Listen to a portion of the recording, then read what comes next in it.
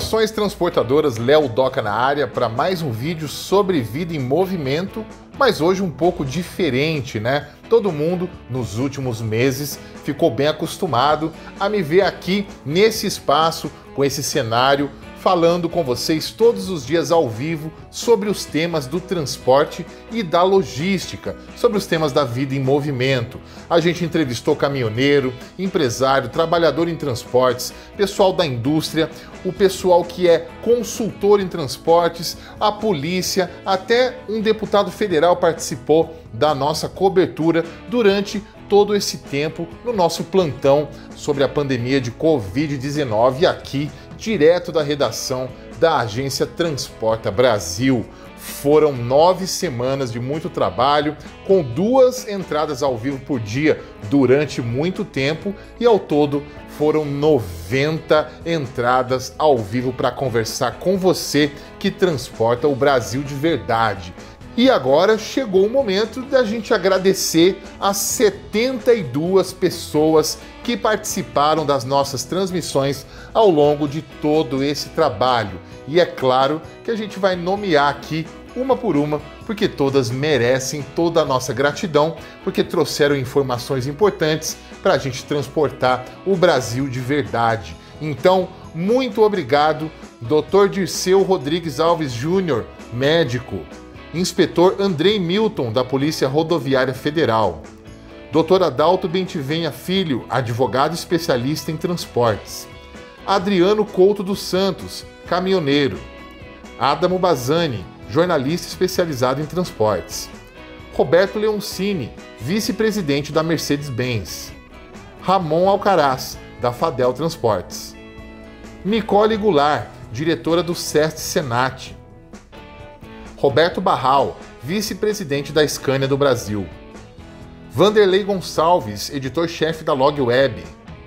Alessandro Poleto, da SOS Truck. Alcides Cavalcante, diretor da Volvo do Brasil.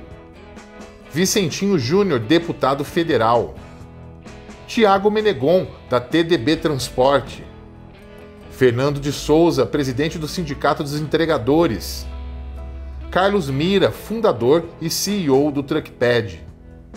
Ricardo Aloche, vice-presidente da Volkswagen Caminhões e Ônibus.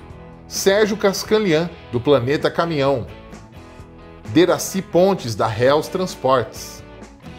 Alcides Braga, presidente da Truckvan. Aline Feltrin, jornalista. Noberto Fabres, presidente da Anfir. Ricardo Botiardi, da Mercedes-Benz. Paula Toco, jornalista especialista em transportes. Marcelo Fontana, diretor da OTM Editora.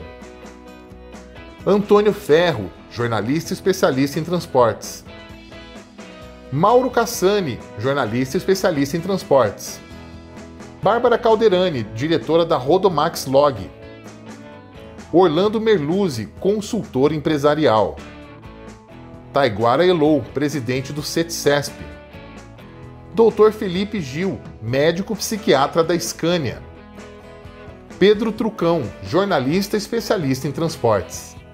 Luiz Carlos Mendonça de Barros, ex-ministro. Gilberto Gardesani Filho, jornalista especialista em transportes. Moacir Bife, empresário transportador. Luiz Cláudio Silva, diretor da Mundo Cop. José Carlos Esprícigo, presidente da Librelato. Silvio Renan, diretor da Mercedes-Benz. Liam Matera, do canal Auto Vídeos. Eustáquio Ciroli, diretor da Foton. Rosmarie Gallery, presidente da FIBrasil. Ricardo Barion, diretor da Iveco. Marcelo Montanha, diretor da Scania. João Naves, presidente da transportadora Rodonaves. Sula Miranda, cantora. Chico da Boleia, jornalista especialista em transportes. Gustavo Teixeira, da FPT Industrial. Daniel Eriksen, do Planeta Caminhão. Walter Barbosa, diretor da Mercedes-Benz. Alex Nutti, diretor do Scania Banco. Marcelo Rodrigues, da MR Express.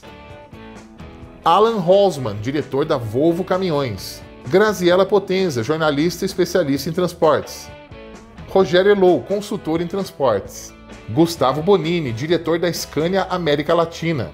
Ciro César Lopes, da Multilog Transportes. Henrique Carpidiani, da Marelli Cofap. Rodrigo Clemente, diretor do consórcio Scania.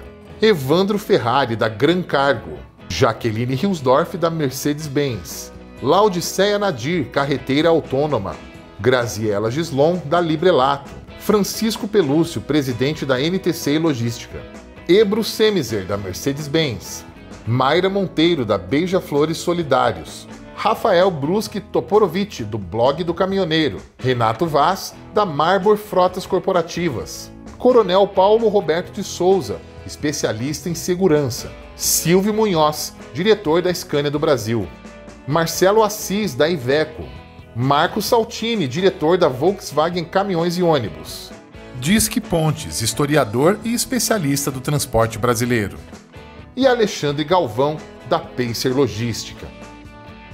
Muito obrigado a todos vocês por trazer o seu conhecimento e participar do nosso debate sobre o transporte brasileiro. Estaremos sempre aqui para ouvir as pessoas que sempre transportam o Brasil de verdade. E claro, muito obrigado a vocês que são o público da agência Transporta Brasil. Sem vocês, nada disso seria possível. Ao longo desses três meses, nós alcançamos com a nossa cobertura mais de 800 mil pessoas pelo Facebook. Obrigado demais. E claro, eu vou encerrar esse vídeo fazendo um agradecimento especial à pessoa que viabilizou toda essa cobertura, que é a Pati Cunha. Muito obrigado.